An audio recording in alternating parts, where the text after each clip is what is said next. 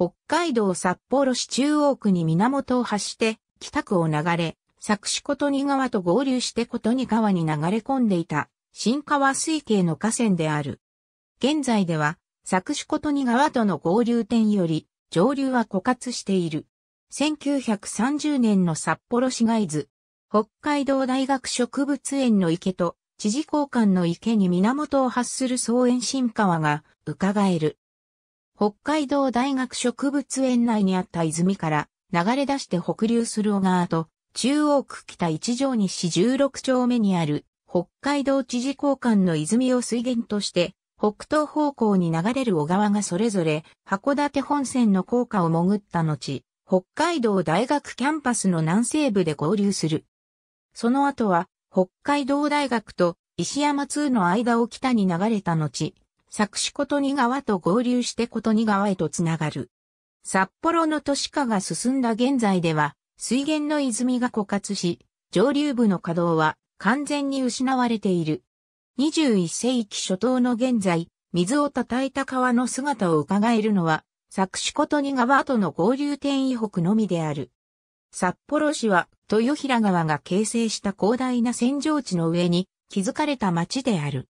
明治時代までは扇状地の末端にあたる函館本線から北一条通り付近にあたる海抜20メートルの地点にアイヌ語で目と呼ばれる無数の泉が湧き、消火線の源となっていた。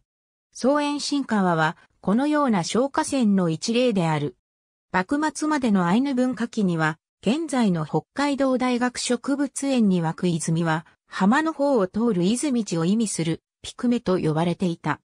そこから流れ出す植物園の川は鮭が登るため、チェウンペと呼ばれ、さらに水産資源を求めて設営された場所の和人が、正論を用いて鮭を加工していたことから、セロンペの別名もある。流域からは俗縄文時代、薩門時代の住居史や酒漁の柳が発掘されている。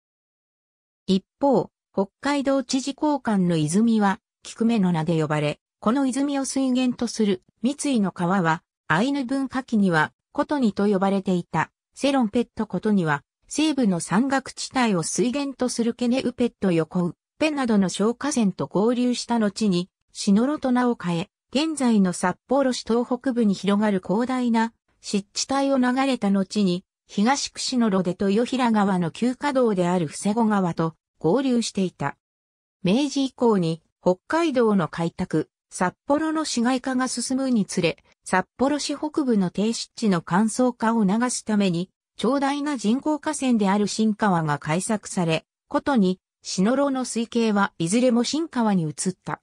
同時に作詞ことに川とともに、北海道帝国大学の西部を流れていたセロンペ、も直線化され、昭和期には草園新川の名で呼ばれるようになった。昭和20年代までは、ある程度の水量が維持され、鮭の遡上も見られたという。ありがとうございます。